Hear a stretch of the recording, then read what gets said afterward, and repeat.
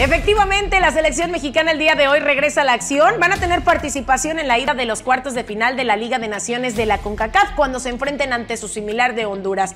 Pero México no solamente va a buscar conseguir el pase a las semifinales, sino también su clasificación para la Copa América 2024.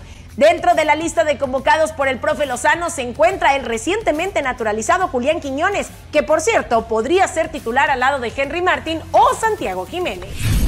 Hablemos ahora del mundo de la NBA porque el jugador de Golden State Warriors, Draymond Green, ha sido suspendido en este momento durante los próximos cinco juegos, luego de haberle aplicado una llave de lucha a su rival Rudy Gobert. Además, va a tener que pagar una multa, va a tener que desembolsar cerca de 800 mil dólares por lo sucedido.